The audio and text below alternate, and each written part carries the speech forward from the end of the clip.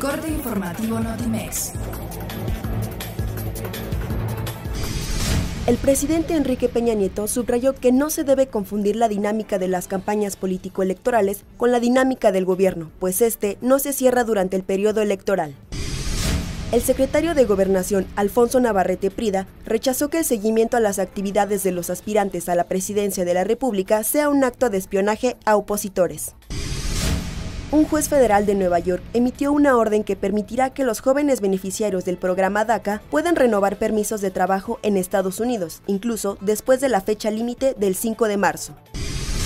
La nueva sede de la Embajada de Estados Unidos, que tendrá lugar en la colonia Irrigación y que iniciará actividades en 2022, será muestra de la amistad del país vecino con México y fortalecerá la diplomacia bilateral, destacó la diplomática Roberta Jacobson. La Juventus de Turín empató 2 a 2 ante el Tottenham Hotspur en su partido de ida por los octavos de final de la Champions League jugado en el Allianz Stadium. Cataluña será el invitado de honor de la edición 2018 del Festival Internacional de Cine en Guadalajara, que se realizará del 9 al 16 de marzo próximo.